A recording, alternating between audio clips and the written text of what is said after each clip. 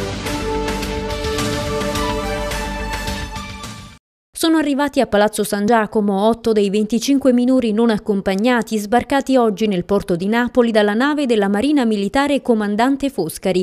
I ragazzi, stanchi e provati dal lungo viaggio, sono stati accolti dall'assessore al welfare Roberta Gaeta ed accompagnati in sala giunta e in attesa che arrivino in giornata i responsabili delle comunità contattate dall'amministrazione. Verranno accolti nelle comunità di accoglienza previsti eh, nell'ambito dello SPRAR nazionale, quindi un sistema nazionale di accoglienza in eh, parte e in parte invece nelle comunità di accoglienza del circuito con cui lavora il comune di, di, Napoli, quindi strutture convenzionate, strutture conosciute dove noi possiamo chiaramente monitorare i percorsi che poi andremo a fare nel tempo. La necessità anche di, eh, di individuare posti disponibili ci costringe a volte anche a dividerli.